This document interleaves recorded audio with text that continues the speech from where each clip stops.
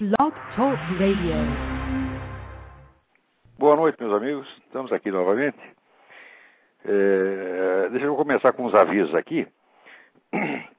No próximo dia 25, às 8 horas, vai ter aula do meu seminário de filosofia em São Paulo, na E Realizações.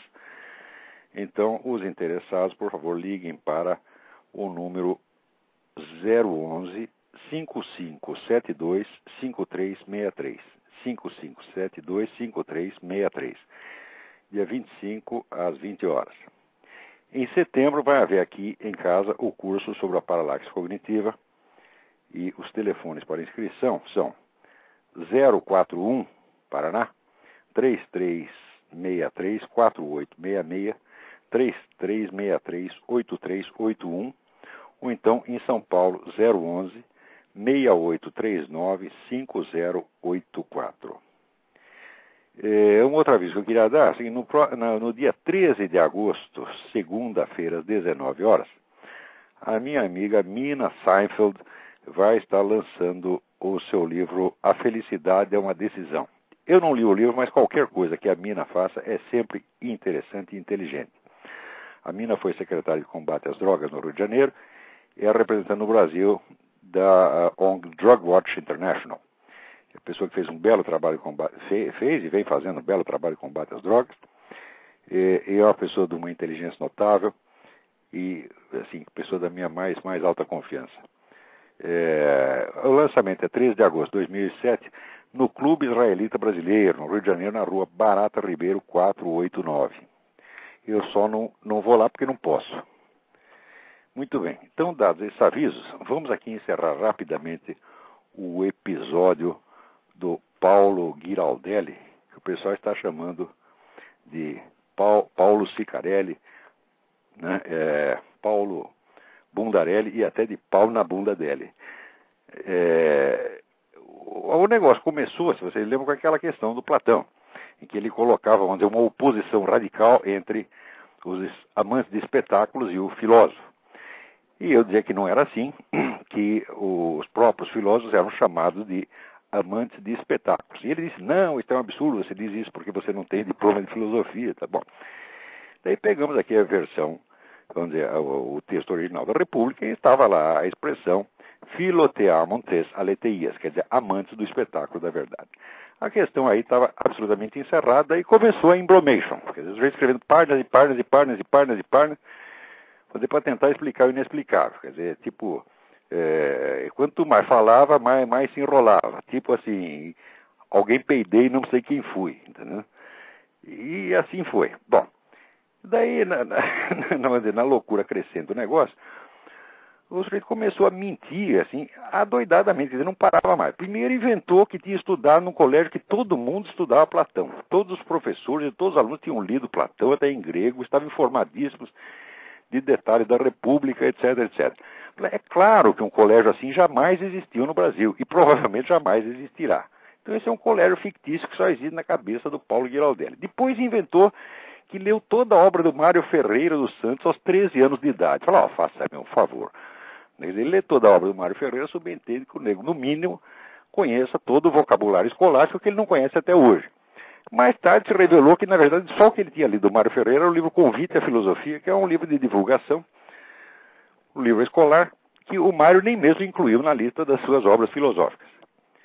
Depois tem aquele famoso negócio do, do, do, do filminho pornô que ele fez com a mulher dele, mostrando a bunda, que milhares de pessoas viram isso na internet e o nego negando. Não, não fiz filme nenhum, não tem bunda nenhuma, isso é obsessão sua, você diz isso porque você né, está. Daí começa, vamos dizer, a, o, o delírio vira especulação psicopatológica. Não, você diz isso porque você está interessado em mim, você tem atração por mim. Então, uma maluquice toda. E quarto, diz, e, o supra-sumo da invenção quer dizer que eu fico xingando, ele só fala palavrões, mas que em privado eu mando para ele né, e-mails num outro tom, muito simpático, quase de súplica, buscando atrair a atenção dele. Daí a pessoa pergunta, por que você não publica os e-mails então? Ele responde, é porque eles estão cheios de palavrões. Quer dizer, o sujeito está mentindo assim uma coisa atrás da outra. Não dá, não dá para a gente acompanhar uma coisa dessa. Então, note bem, não se, eu estou acostumado dizer, a, a denunciar, a discutir em caso de vigarice intelectual. Mas aí não é vigarice intelectual, é vigarice no sentido policial da coisa. Então, um sujeito desse não dá para gente, não dá para gente conversar, não dá para aceitar como interlocutor. Esse é bandidinho, pé de chinelo, entendeu? não é realmente para entrar na conversa. Agora, tem aqui um cidadão que mandou uma carta para o, o Giraldelli. A carta merece atenção porque está muito bem escrita. Chama-se Fred Fom, com dois M's. E ele tem um, um site, chama-se http elvisevil.blogspot.com. É muito interessante e o Frederico Fom escreve muito bem. Né? Eu não vou ler a carta aqui porque não, não, não dá, mas é, é, por favor, não, não, não deixem de dar uma olhada nesse site, está muitíssimo interessante. Aliás, ele até termina aqui com um PS para alguém que se intitula filósofo da cidade de São Paulo, erros vernaculares como acertar, acentuar o I em currículum são imperdoáveis. Ah, e Amsterdã não termina com N. Sem contar né, que o homem escreve senhora estérica, estérica com E. Né? Quer dizer, esse sujeito ele se gaba de um diploma universitário quando não devia ter nem o diploma do primário. Mas isso no Brasil é muito comum, porque eu recebi aqui a semana passada, vocês viram que é a universidade no Brasil? Eu recebi aqui a semana passada um e-mail que me informava de uma coisa que eu jamais suspeitaria. No livro da Marilena Chauí, que se chama Convite à Filosofia, título que por sua vez já é um plágio do Mário Ferreira dos Santos, existe um segundo plágio. E a mulher pega a, a, a, página célebre da introdução à filosofia do Juliano Marias, que, ao expor a noção da verdade, apela a, ao sentido etimológico dos, das três palavras que representam a verdade em três tradu, tradições, quer dizer, a verdade no sentido grego da aletheia como revelação, né, a, a verdade no sentido hebraico do emuna como, como promessa fiel, tá e é, a verdade no sentido latino, veritas, como relato fidedigno. Né? É, é uma página cérebro do Romeu Marias, um clássico. E a mulher reproduz, a dona Marilena Chauí reproduz isso quase ipsis literis. Né? Quase ou, ou, totalmente ipsis literis, não conferi a coisa assim, palavra por palavra, mas vou conferir. Eu sei que pelo menos a, a estrutura da exposição é a mesma e nem mesmo cita o Julián Marias. A outra vez foi acusado de plágio, esta senhora disse que foi acusada de plágio do Claude Lefort, foi acusado pelo Zé Guilherme Melchior. E ela alegou então que ela e o Lefort eram amantes, e que na cama, sabe como é, as letras misturavam, chacoalhava muito, misturava todas as letras do alfabeto.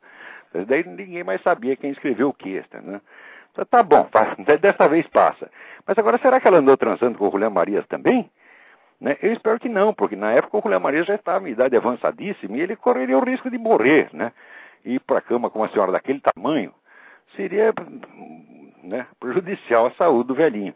Espero que ela não tenha feito isso. Né? Mas eu vou, vou, escrever alguma coisa sobre isso no jornal, que eu vou dar, dar detalhes melhor, o número de página, tudo direitinho. Eu não, ó, no meio da papelada aqui, eu não estou achando o nome da pessoa que me mandou o, o, o e-mail sobre a Marilena, mas eu agradeço muito. Se eu achar, daqui a pouco eu, eu menciono. Né? É, então, vamos lá. Ah, tá aqui, tá aqui, tá aqui. Quem me mandou foi Anthony Lorimar Siqueira de Queiroz. Muito obrigado, Anthony. Essa dica é realmente é, importante e é só mais uma, vamos dizer, é mais uma amostra né, do que, que é a porcaria do ensino universitário de filosofia no Brasil. Ele é empulhação do começo até o fim. Tá certo?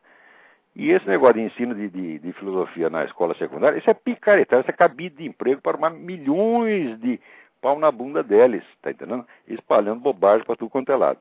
Agora, a, o Brasil está, vamos dizer, numa, numa, num estado de calamidade pública e intelectual que todo mundo está ficando idiota. Então, nessa situação, como é o negócio do Goya, ele sonha da razão produz monstros.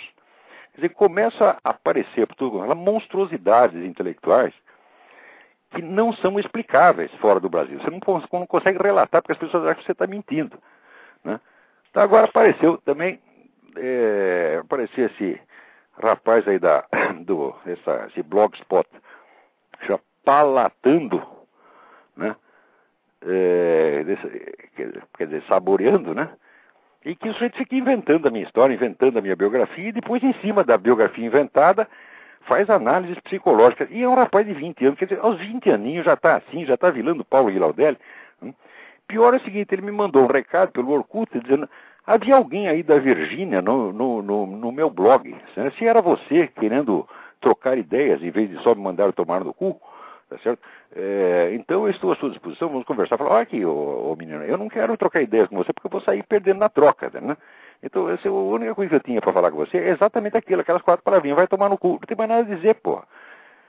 Quer dizer, você tem 20 anos, vê se aprende, vai estudar, para de dar palpite no que você não sabe, cala a tua boca pelo menos até os 35 anos, amadurece primeiro, tá certo? E depois uh, vai puxar a conversa.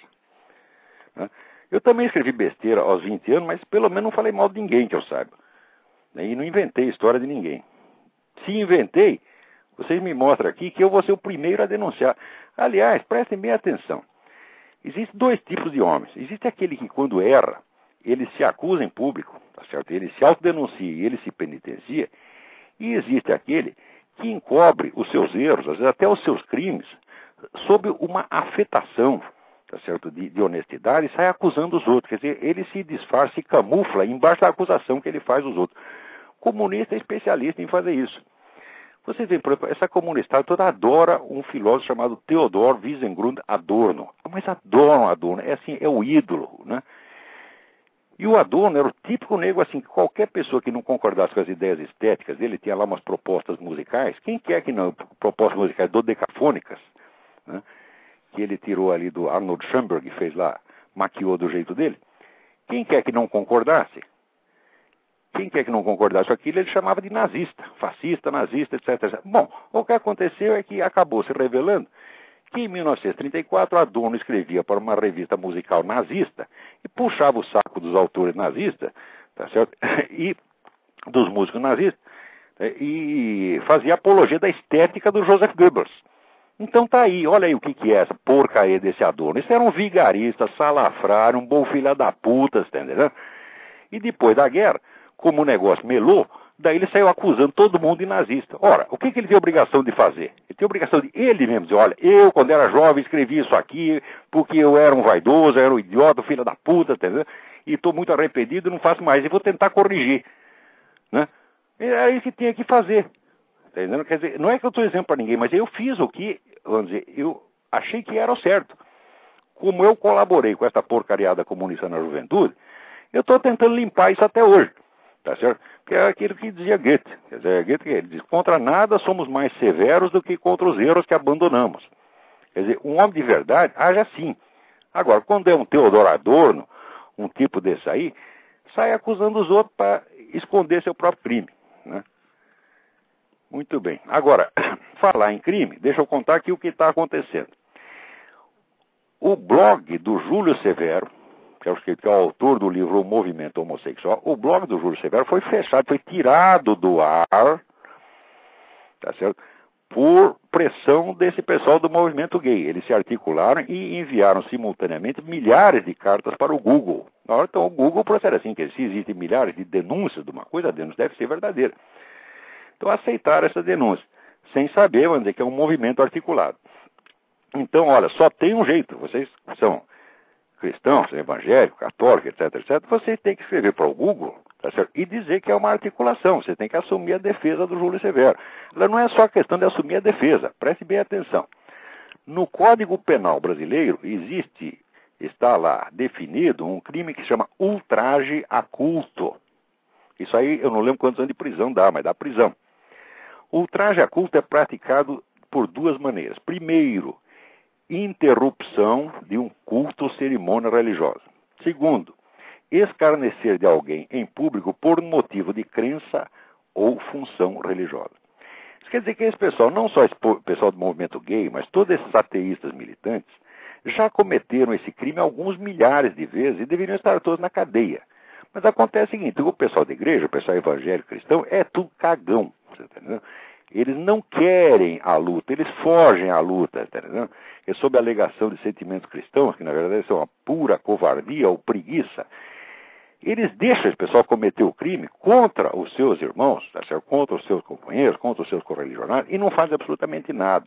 Então aí, cadê esse cardeal aí, esse dom Cláudio, não sei se é Cláudio Umes ainda o cardeal a ser bispo em São Paulo, né? mas eu soube que o homem aí do jornal da arquidiocese, tá certo? É, ele apoia esse movimento abortista.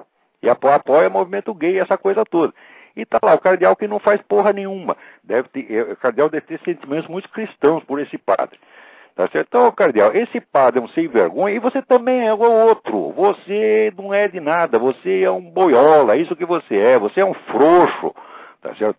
Você, em vez de você se arriscar pelo nome de Cristo, não, você vem primeiro você, a sua saúde, o seu empreguinho, tá certo? E a amizade desse pessoal da esquerda, depois vem o Cristo. É assim que todos vocês agem, é por isso que esse país está nessa merda. O brasileiro não tem mais noção de veracidade, noção de honestidade, noção de honra, não, não, tem mais nada. O país acabou, está podre até o fim. E não adianta falar mal do Lula. Se fosse só o Lula, seria uma maravilha. Né? Mas vê lá o pessoal. Né? O que, que eles fazem lá na, no, no, Maracanã? Vai o Lula e aplaude a delegação de Cuba. Quer dizer, eles acham que o governo de Cuba é melhor que o Lula. Quer dizer, é falta total de, de, de discernimento. Não é possível, né? Quer dizer, quando o país chegar nisso, bom, virou hospício mesmo, não há mais o que, nada o que fazer. Né? Peraí, parece ter alguém na linha, vamos lá. Alô, Lavo? Alô? Ah, tá ouvindo? Perfeitamente. É o Marcos que tá falando? Quem? É, o, é, o, é Marcos. Marcos. Eu, eu mesmo. Oi, tudo bem? É, é o, tudo bem, tudo bem. É, é o seguinte, eu falei com o senhor há duas semanas atrás e eu, tu lembra que eu te perguntei sobre a guerra justa, queria que eu voltasse, pediu para voltar mais cedo um pouco? Sim, sim, sim. Pois é, okay, eu queria, bom, já, já que estou falando de guerra cultural aí, queria que o senhor falasse um pouco da, sobre o tema da, o que, que é da onde vem a guerra justa, que, que, termo que é, quem que estudou esses elementos. Olha, em, em primeiro lugar, qualquer guerra defensiva é justa por definição. Sim. Quer dizer, é, é como qualquer ato, ato de autodefesa. Quer dizer, você não pode deixar, por exemplo, um negro invadir sua casa, matar sua família inteira, e você, sob a desculpa de sentimentos cristãos, você não fazer nada. Tá certo? Porque você não reagir numa coisa dessa é você condenar os inocentes à morte. Para você não matar o agressor, você vai matar o inocente. Quer dizer, não se trata de uma escolha entre vida e morte. Mas é a escolha entre, como é que se diz, entre uma vida e outra vida. Qual vida que você vai preservar? Ou você preserva do atacante, tá certo? Ou você preserva dos inocentes que ele está atacando. Você não pode ficar imparcial numa coisa dessa. Vamos supor, é a mania brasileira. A brasileira quer sempre parecer superior, estar acima né, dos dois lados, né? Então, olha aqui, se aparece que tem um estuprador e do outro lado tem uma menininha de três anos que ele estuprou. Você pode ficar imparcial entre os dois? Não tem, sim, não tem o menor sentido. Quer dizer, você tem que assumir a defesa de um lado. E se for preciso matar o cara para impedir que ele consuma o crime, você tem a obrigação de fazê-lo. Esse raciocínio é o mesmo, tá certo? No, no, no, na, na moral cristã, tanto para os casos individuais quanto para o caso de guerra. Então, esse, esse, é o raciocínio de São Tomás de Aquino. Não tem, não tem muito o que, o que pensar aí. Né? Quanto tempo, por exemplo, assim, quando você tem consciência plena, como no caso, vamos dizer assim, da Coreia do Norte, que tu tem campos de concentração, uma repressão sistemática de toda a sociedade, seria a guerra, no caso, seria justa nesse, Nesse inteiramente caso... justa, inteiramente justa. Quem te, veja, se você vê que o povo não tem meio, aquele povo não tem meios de defesa e está sendo dizimado pelo próprio governo, eu acho que qualquer nação tem o direito de ir lá e derrubar o cara. Não tem o direito de ocupar o país, você está entendendo? Mas tem o direito de derrubar o cara. Acho que derrubar o Saddam Hussein foi ótimo, porque a guerra morreu as 30 mil pessoas, mas o Saddam já tinha matado 300 mil. Quer dizer que você está ganhando 270 mil por, por, pelo menos. Né? E mais ainda, quando existe, vamos dizer, uma intervenção ou armada ou de outro tipo no exterior. Você vê, por exemplo, o Irã. O Irã vai fazer mais de 10 anos que o Irã está fazendo uma derrama de dólares falsos na Europa. E é uma nota tão bem falsificada, os caras chamam de supernotas, que os bancos comuns não têm meios de identificar essa nota. Seja, só o, o, Banco Central aqui que tem aparelho suficiente para identificar essa nota. Calcula-se que 20% das notas de 100 dólares que circulam na Europa são dessas supernotas iranianas, feitas com uma máquina de impressão que o governo americano deu para o governo do Irã no tempo do Reza Pahlavi. Eles estão usando a máquina que foi doada pelo governo americano para falsificar a nota. Isto aí é uma agressão, isto justifica uma guerra, porque isso pode derrubar a economia de um país. Claro. Mas tá, tá ok, é isso mesmo. Então, quer dizer, se é para atacar o Irã, já devia ter atacado, tá certo? Há muito tempo, só por causa desse negócio dos dólares já justifica. Você imagina o que, que isto trouxe de dano, tá certo? não só para os Estados Unidos, mas como para muitos países em volta, tá certo? E você calcula o que isso tem custado em matéria de vidas humanas, você vê que ó, você ir lá e bombardear a usina atômica dos caras não é, não é, não é nada de mal, não. Uhum.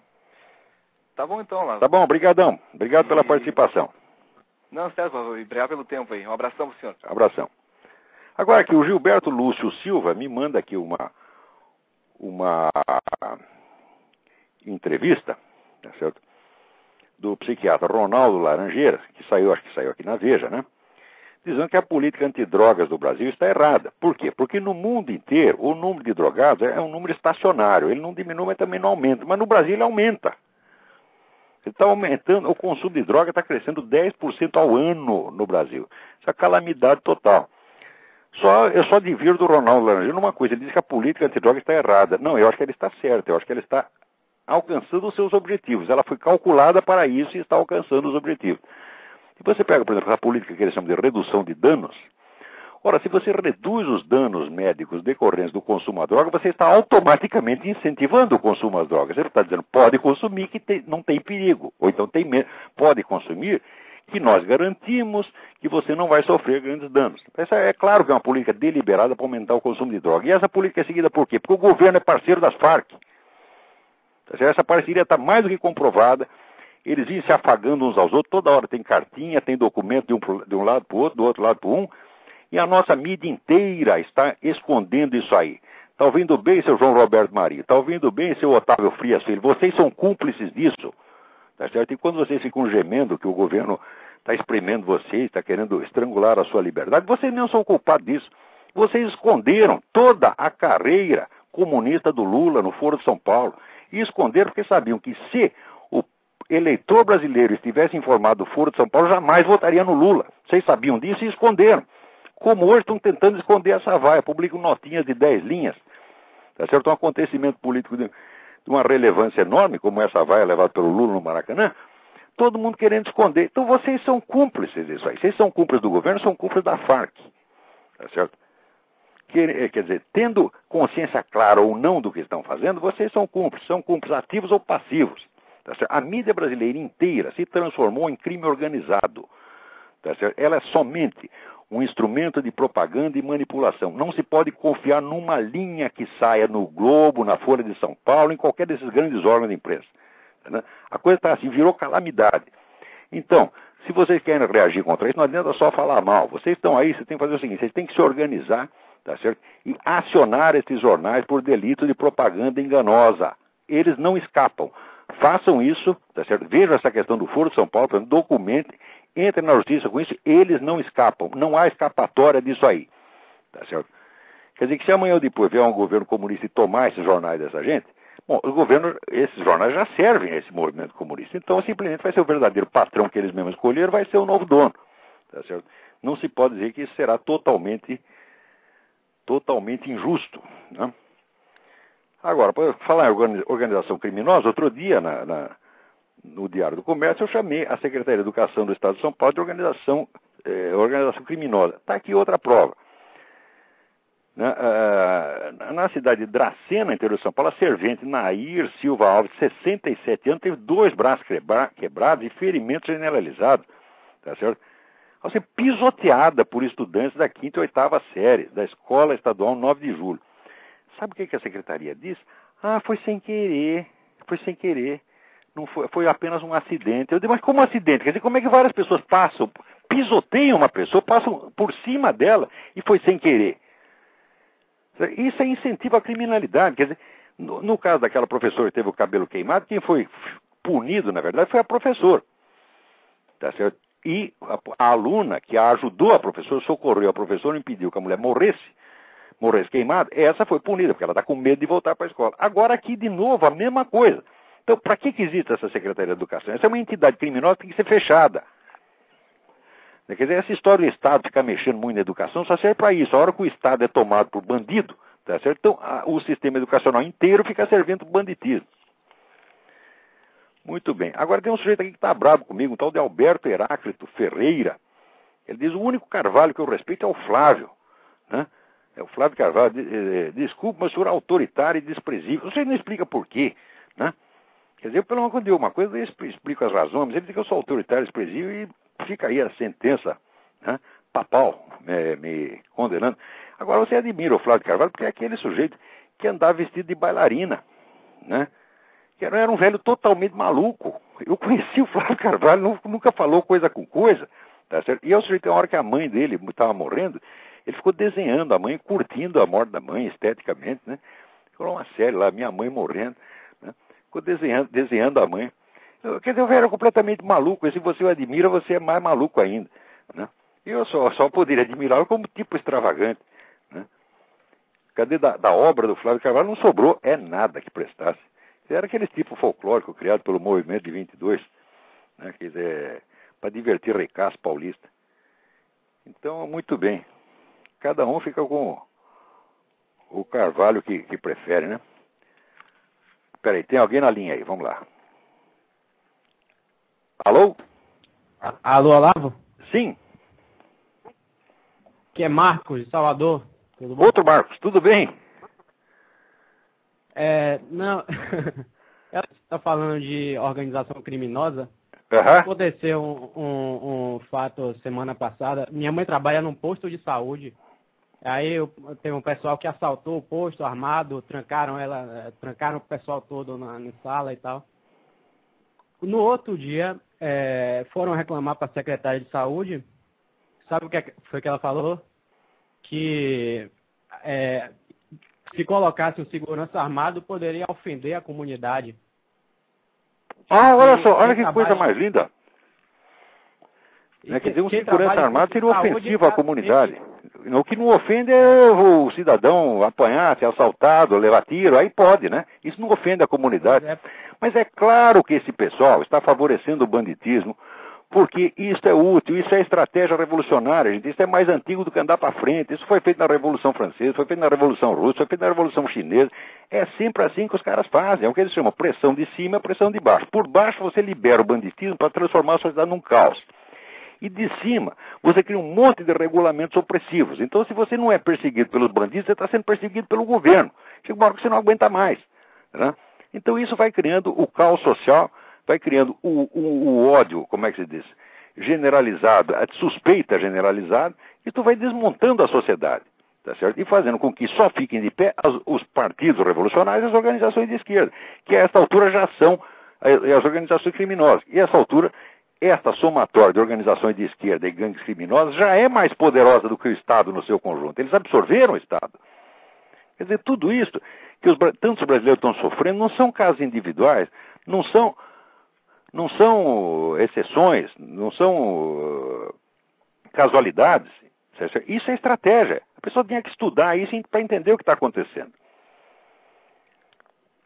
É, ela ainda falou que quem trabalha em comunidade, em, em, programa de saúde comunitária, tem que ficar sujeito a isso mesmo, tem que saber que. Ah, tá lá para apanhar, tá lá para levar chumbo. É. É, é tá isso mesmo. Por que não vai ela lá? Tomar tiro na cara. Quem falou isso? A secretária de Educação? Essa senhora, por que, que não vai essa senhora lá? Vai lá. Pô, agora no dos outros é refresco, né, dona? Vai a senhora lá para levar chumbo no lugar deles, ó. É, só, era só o que faltava. Ao agressor, né? A proteção ao agressor e, e, e nada para Agora, aqui, né? aqui, tá, aqui tem gente querendo fazer a mesma coisa, não conseguiram, tá certo? Mas que querem, querem. Quer dizer, proibir o cidadão de ter arma, de maneira que só os bandidos ficam com arma. Aqui, você vê, as regiões onde onde se tem mais armas é onde tem menos crimes. Isso aí está aprovado no mundo inteiro. Na Inglaterra, proibiram as armas, a criminalidade subiu extraordinariamente. Né? E ainda fica o, o, o, Times falando mal dos Estados Unidos, como se aqui fosse a sociedade violenta. Aqui não é a sociedade violenta. Aqui, comparado com o Brasil, aqui é a sociedade mais pacífica, ultra pacífica. Aqui você tem o dobro da população e você tem dez vezes menos crimes do que no Brasil. Mas é assim, obrigado pela sua participação aí, Marcos. Olavo, só, só mais, é, eu queria saber se você podia me indicar algum, algum livro, algum bom livro de história antiga. De história antiga? Mas procura os clássicos, procura o Mommsen, Theodor Mommsen, história de, história de Roma. Eu procurei, não, não achei esse não. O Mommsen, existe uma edição francesa antiga, talvez você ainda consiga em algum em, em algum sebo, mas pelo, pelo site www.bookfinder.com você deve achar alguma edição americana. Existem traduções americanas do Mommsen. É que ah, eu acho que ainda é o melhor. O outro é o grande Rostovtsev, né, russo, Rostovtsev com dois F no fim. Não lembro o primeiro nome dele. História de Roma. Isso existe uma edição brasileira, é um livro pequeno, publicado pela editora Zahara antigamente. Talvez você ainda ainda ache. E hoje em dia existem uns livros muito interessantes de um senhor chamado Victor Hanson, H-A-N-S-O-N, né? Uh, o, o, livro A War Like Any Other, Uma Guerra Como Nenhuma Outra, sobre a Guerra do Peloponeso, é uma maravilha. Né? Tem saído muita coisa de história antiga agora nos Estados Unidos, da mais alta qualidade. Mas você, pelo livro do Hanson, você vai ter a pista toda. Né? Alô? Eu acho que ele saiu da linha. Muito bem. Então, é, vamos continuar. Aqui nos Estados Unidos, o pessoal democrata que quer passar né, uma lei semelhante a essa dos homofóbicos, anti-homofóbica no Brasil, estão loucos para passar isso e sabem que não teriam apoio, nem dentro do próprio Congresso. O que, que eles inventaram? Eles amarraram essa proposta, tá certo? fizeram um, um bloco se amarrar essa proposta junto com a proposta orçamentária para a guerra do Iraque.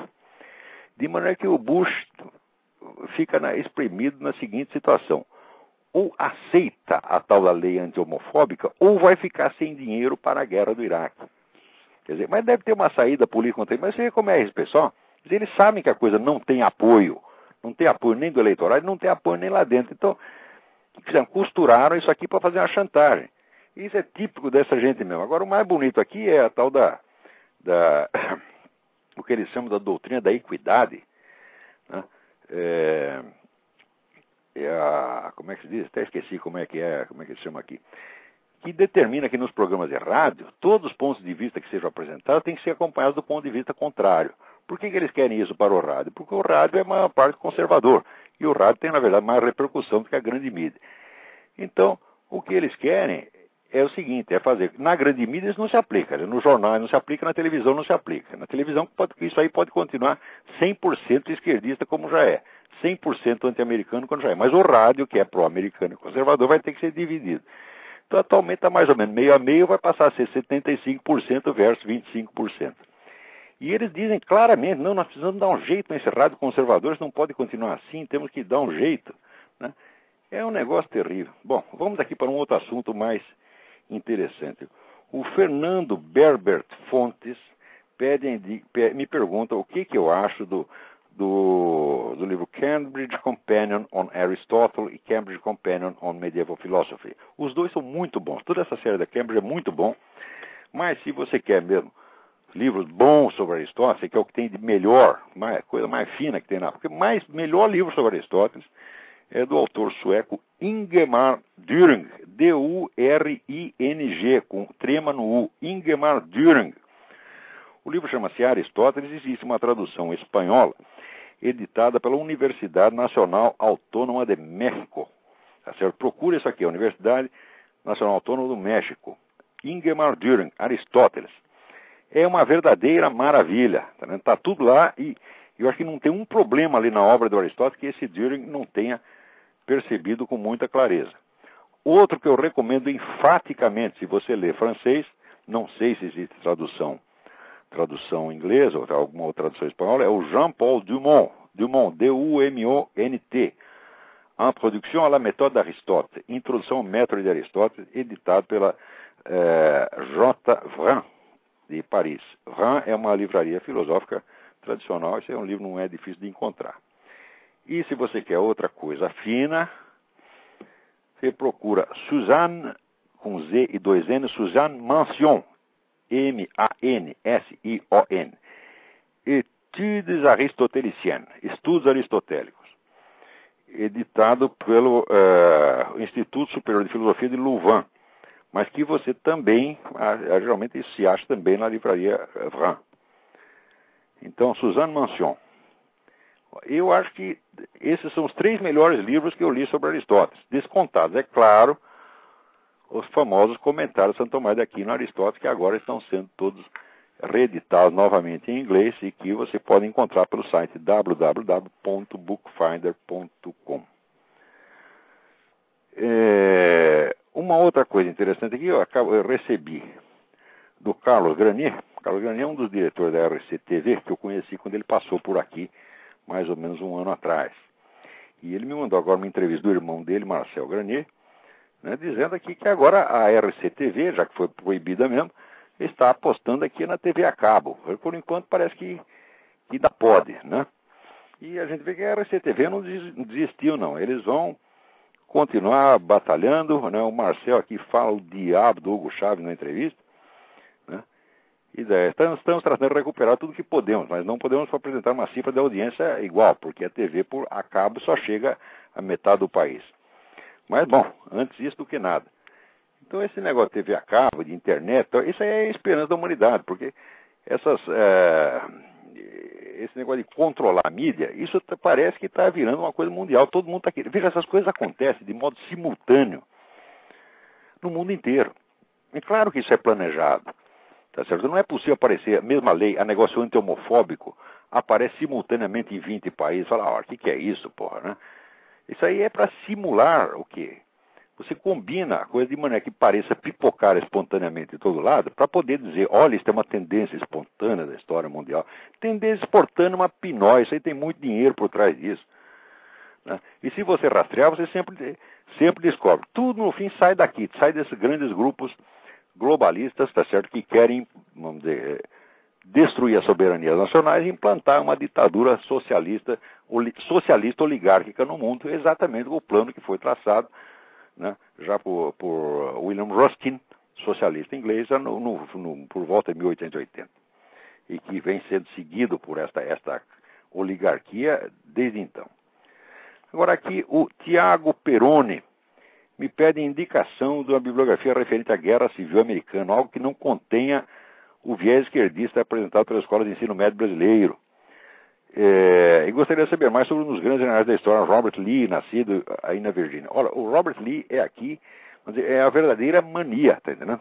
Todo mundo aqui tem retratinho do Robert Lee, eu mesmo tenho uma estátua do Robert Lee aqui, é, é o ídolo da, da, da Virgínia. Né? Então, sobre o Robert Lee, a melhor obra que existe ainda é o do Douglas Southall Freeman, Freeman, F-R-E-E-M-A-N. Né? É a biografia, existe a versão completa em quatro volumes, publicada aqui pela Scribners. Né? Saiu em 1951 a primeira edição, mas teve várias reedições depois. E depois eles fizeram uma, uma edição resumida em um volume só. O Freeman era um diretor de um jornal aqui, de um diário aqui de, de, de Richmond, escreve maravilhosamente bem e o livro profusamente documentado. Né? Nunca houve nenhuma contestação séria vamos dizer, a esta, a esta bibliografia.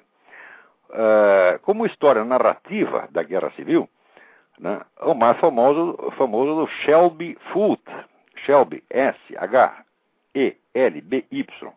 Foote, F-O-O-T-E, né, uh, The Civil War, a Narrative.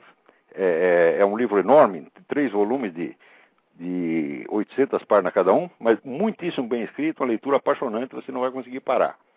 Né? E existe o do Bruce Catton, que ganhou um montão de prêmios. Esses livros são, são pró-nortistas, mas não, são, não tem viés. Entendeu? São muito, muito honestos esses autores.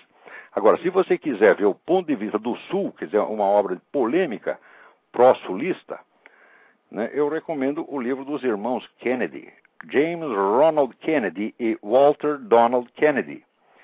James Ronald Kennedy e Walter Donald Kennedy. O livro chama-se The South Was Right. O Sul estava certo. Né? Lá tem um monte de informações que você realmente não, não, não, não suspeita. Agora, é bom saber que esse negócio da cultura sulista, tradições sulistas, tudo isso ainda existe aqui. Quer dizer, a, uma espécie de patriotismo sulista está, está muito, muito vivo ainda aqui. Não está mais, vamos dizer, não tem uma expressão social ostensiva, mas expressão cultural tem. Então fica aí. Ah, deixa eu te recomendar mais um livro, fiz uma história geral da América, que no qual você encontrará a perspectiva que você quer, que é o do William J. Bennett, B-E-N-N-E-T-T, que chama America, The Last Best Hope, a última boa esperança, The Last Best America, The Last Best Hope. Saiu em dois volumes agora. Isso é uma obra-prima de, de, história da América. Né? Muito bem, vamos ver o que mais tem, temos aqui. Olha, a burrice, a ignorância de jornalista brasileiro é uma coisa de você ficar besta, mas besta. Saiu aqui eh, uma, uma notícia no Estadão, no, no, no Estadão Eletrônico, assinado pelo colunista Marcos Gutermann, e ele comenta o álbum né, dos metaleiros Megadeth, Destruição para Purificar a ONU. Né? Então ele disse: muita gente achou grosseiro quando John Bolton sugeriu que se o prédio da ONU perdesse 10 de seus andares, ninguém notaria. Mas o diplomata americano é fichinha perto do novo álbum da banda de heavy metal Megadeth, intitulado United Abominations. Uh, o Megadeth grita com todas as letras, grita com todas as letras aquilo que a direita americana gostaria de dizer, mas por uma questão de educação prefere a versão light de Bolton. Por exemplo, aspas. Num cipó de hipocrisia, propinas, comissões e corrupção, a ONU permite o terrorismo e ignora os crimes sexuais de seus soldados. Ora, como é que é isso? Quer dizer, ele está dizendo que somente que essas coisas aqui, a direita fica envergonhada de dizer, tá certo? E só o, o Megadeth, só o, o bando de metaleiros é que grita isso. Mas, meu Deus, quanta ignorância. Isso aqui, esta mesma afirmação, não se pode hipocrisia, propinas, comissões e corrupção, a ONU permite o terrorismo e ignora os crimes sexuais de seus soldados. Isso é a direita americana inteira está dizendo. Existem centenas de livros a respeito disso. É a bibliografia imensa, documentando os crimes e abominações da ONU. Agora, o nego nunca ouviu falar, ele pega lá um álbum de metaleiro, aquilo para ele é, é, é, a primeira coisa que ele ouviu a respeito, né? e ainda se mete a informar os outros. Quer dizer, vai estudar, vagabundo. Ô Marcos Gutmann, vê se acorda, rapaz. Vai ler livro. A sua cultura é composta de quê? De CD de, de, de metaleiro? Né? É com base nisso que você quer informar as pessoas o que está acontecendo nos Estados Unidos? Que porra, né? Agora aqui também, está aqui outro aqui, André Alt Toé, não sei como se produ... não sei como se pronuncia isso aí. Eu acho que isso aí parece um nome, nome sueco. Altur. Não sei se é isso, hein? Se não é, desculpa. Então, ele diz aqui, estava lendo a obra de Manuel Castells, intitulada Poder da Identidade, e me chamou a atenção o comentário feito sobre uma organização chamada Movimento Patriótico, presente nos Estados Unidos. Segundo o autor, trata de um grupo de organização conservadora que possui um inimigo comum, o governo federal dos Estados Unidos, como representando a nova ordem mundial. Não, isso não é uma organização, André. Esse Manuel Castelo, pô, esse é outro Marcos Gutermann, tá entendendo? Bom, isso aí não existe uma organização chamada Movimento Patriótico, tá certo? O que existe, vamos dizer, é um monte de organizações que compõem um negócio que não tem nome, mas que pode se chamar de Movimento Patriótico, Movimento Conservador, como você queira, e que tem como inimigo comum não o governo federal, mas os ocupantes do governo federal, especialmente o pessoal do CFR, tá certo? E, naturalmente, os representantes da nova ordem mundial. Quer dizer, prática, você tem. Eu acredito que esta, esta posição antiglobalista né, é, e patriótica americana, eu acho que aqui é, você pegaria pelo menos, pelo menos 40% do eleitorado está nesse negócio. Quer dizer, a, muita gente está a favor disso aí. Não é uma organização. Quer dizer, esse Manuel Castel também esse, esse já falou tanta besteira, esse jeito, ele já foi no Brasil várias vezes. Cada vez que sai, sai mais bobar. Peraí, tem mais gente na linha aí. Vamos lá. É, boa noite, Olavo. Boa noite. É, Fernando, aqui do Rio Grande do Sul. Ô, Fernando, tudo bem? Tudo bem. Olavo, é, há umas duas semanas o senhor falou a respeito daquela pesquisa da Folha de São Paulo. Aham. As maravilhas da ciência. Ah, sim, sim, eu tô, tô com o seu, o seu o, o, o seu e-mail aqui. Olha, existe uma. Uh, de modo geral, entre o pessoal que estuda psicologia experimental, etc., há um consenso de que a psicanálise não é ciência. É, mas, mas, se você quer um livro específico sobre isso, existe um clássico a respeito, que é do psiquiatra espanhol Juan José López Ibor, Ibor I-B-O-R, que chama El Agonia del Psicoanálisis. Esse é um livro importantíssimo, isso é um, é um clássico da, da, da, psiquiatria no século XX. Eu recomendo a leitura disso aí, como um bom, um bom começo. Agora, você veja, só é, raciocinando assim por alto, você vê que a, a cura psicoanalítica, ela em si mesma, é impossível de você comprovar experimentalmente. Primeiro, porque o processo é muito demorado. A psicanálise pode levar 20, 30 anos. E segundo, você tem vamos dizer, o próprio conceito de cura, quer dizer, o, o, o, Freud achava que o sujeito que está, que está bem é o sujeito que está bem com a sua família de origem, com o seu trabalho, com a sua família constituída. Mas esse é o sujeito que comia a cunhada, está entendendo? Passou a vida comendo a cunhada. Quer dizer, ele estava bem até demais com a família constituída, né? Que ele, que ele elaborou isso de acordo com uma sociedade da, da Áustria da época, né? O que não pode ser é, extrapolado para todas as civilizações. É um conceito de normalidade muito, muito, muito arbitrário.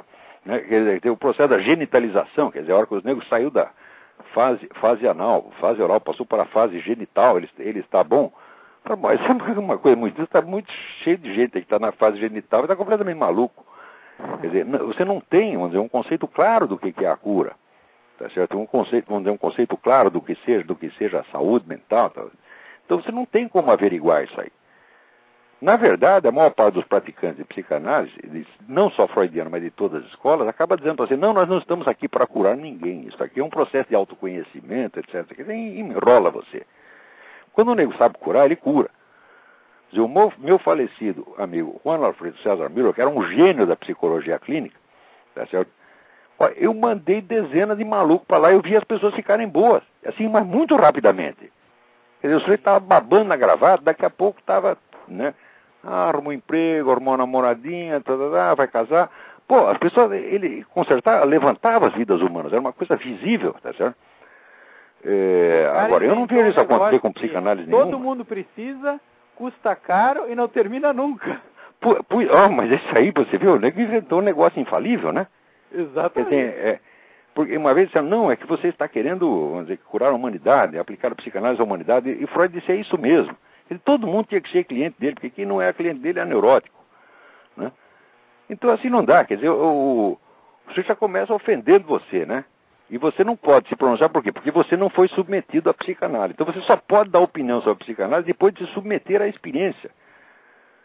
Você já parou para pensar o que, que é isso? Quer dizer, uma teoria que não pode ser criticada em si, você tem de praticá-la primeiro. Tem de se submeter. A... Essa é a coisa mais autoritária que eu já vi. Né? Exatamente. Né? Qualquer teoria tem que poder ser discutida enquanto teoria, né? Agora, se não fica que nem aquele negócio do Santo Daime, que uma vez formaram uma comissão para avaliar se aquela, aquela droga lá do Santo Daime era prejudicial ou, ou benéfica, né? Sim. Com a comissão de alto nível lá em Brasília, a primeira coisa que a comissão de alto nível fez foi tomar a porcaria do chá do Santo Daime. Ficou todo mundo doidão e achou que era maravilhoso, claro, né? e até hoje jamais saberemos.